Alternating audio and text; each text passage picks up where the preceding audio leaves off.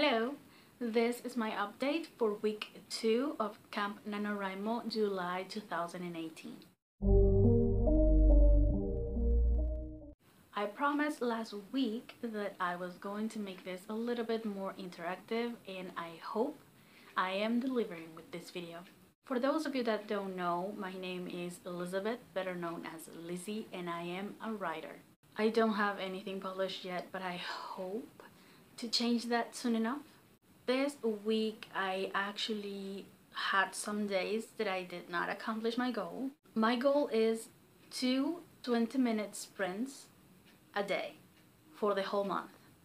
During the weekend I have family over from Argentina and I focused on them instead of my writing so I did not write anything at all during the weekend and I started again on Tuesday because they left Monday afternoon.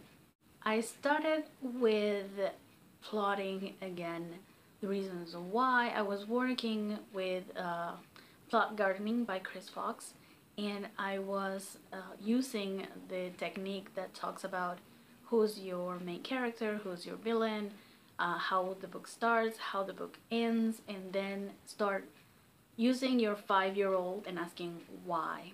Why this is happening, why this has to be like this, why the character do this, why the character has this past, why they react this way, and blah blah blah. I started doing that and answering some questions. I remember that on Saturday I went to the mall and I sat down in the cafeteria and wrote a couple of words. Uh, well, actually, it was a dialogue of a scene, and that scene, I loved it. I said I have to transfer that to my computer, and I did.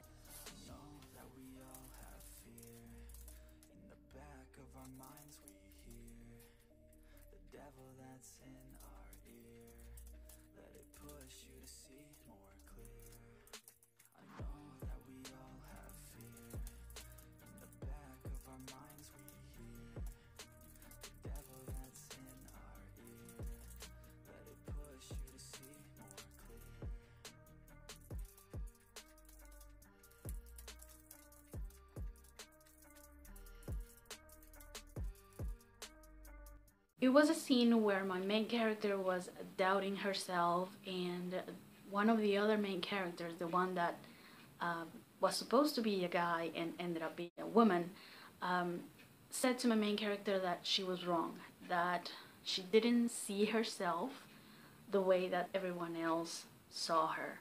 She was unnatural when it came to fixed situation between them because this woman was fighting with another character and the main character, the queen, the princess actually, um, got in between and with a few words diffused the situation. And she didn't even know what she did or how she did it. She just went and did it. So that's what this conversation was about. And uh, I loved it. I put it down on my document on Scrivener. And I think that scene has potential, but that's what I was working with in that clip that you just saw.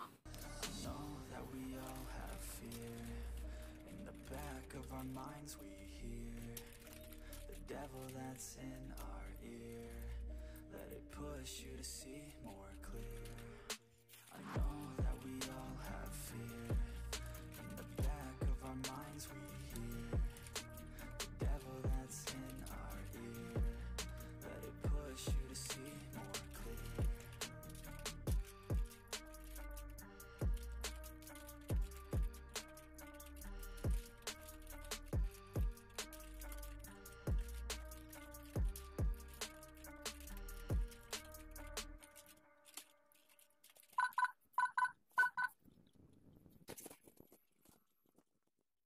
This clip was about a scene that I wrote under pressure.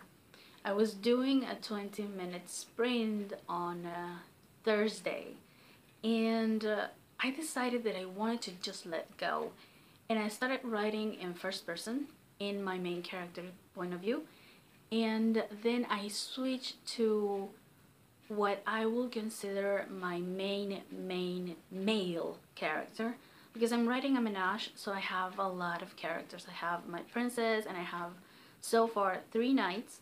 One of them is a female and two males. Then I have the evil queen and her minions and all that.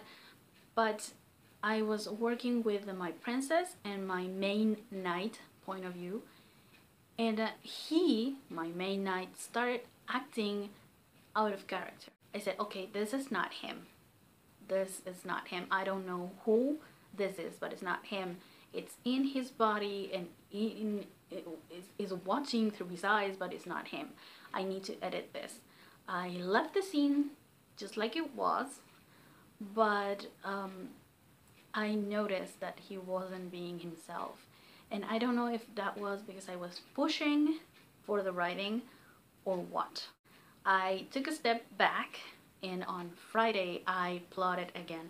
I actually outlined some steps that I need to write, some scenes that I need to write that I know where things are going because I have an idea of the beginning, I have an idea of the ending, but I don't know the path that my characters are going to take to get to point B from point A. That's what I tried to outline Friday. That's my 40 minutes for Friday. What I did want to do was change projects.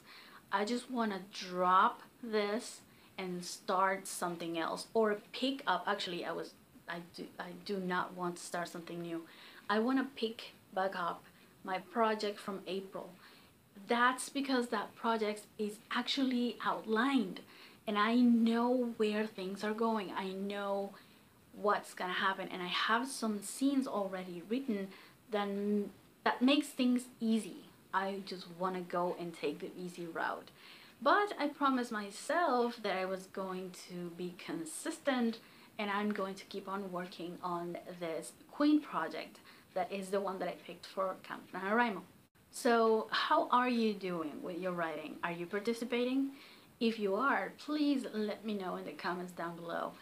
Writing a book, a nonfiction, a fiction, a whatever book is not easy.